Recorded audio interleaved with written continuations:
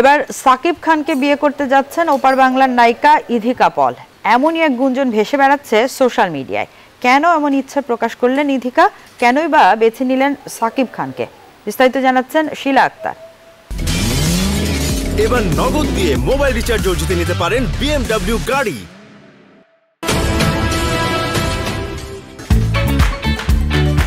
Dhallywood superstar Shakib খানের সঙ্গে প্রিয়তমা সিনেমায় অভিনয় করেছেন ইদিকা পাল। জানা গেছে শাকিবে মজেছে ইদিকা। গিয়েছেন শাকিবের বহু গুণগান, কিন্তু এবার কিং খানকে বিয়ে করার ইচ্ছা প্রকাশ করেছেন ইদিকা।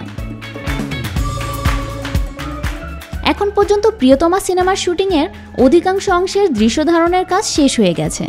ইদিকা যেন সাকিবের গুণগানে পঞ্চমুখ। তবে এবার জানা গেল, ইধিকা কিং খানকে বিয়ে করার ইচ্ছে প্রকাশ করেছেন। আশ্চর্য হবার মতো বিষয় হলেও এমন ইচ্ছে ব্যক্ত করেছেন কলকাতার এই নায়িকা।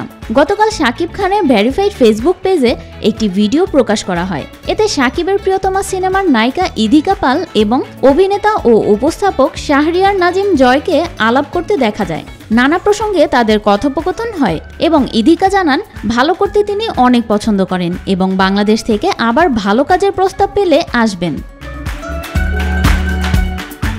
আলাপের শেষের দিকে শাহরিয়ার নাজিম জয় কলকাতার এই অভিনেত্রীকে প্রশ্ন করেন, ধরো বাংলাদেশে তোমাকে বিয়ে করে সেটেল হতে হবে। পাত্র আছে দুজন, একটা আমি এবং অন্যটি শাকিব খান। কাকে বিয়ে করবে?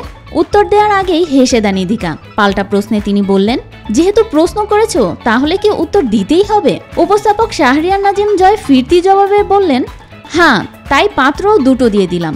ইদিকা বললেন, যেহেতু তুমি অপশন দিয়েছ, বেছে তো নিতেই হবে। অন্য কোনো অপশন নেই।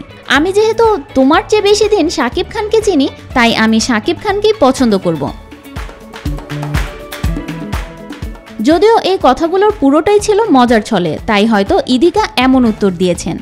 উল্লেখ্য, ইদিকা পাল ঢালিউড সুপারস্টার শাকিব খানের বিপরীতে ছোট পর্দার গণ্ডি পেরিয়ে পা রাখতে চলেছেন বড় পর্দায়।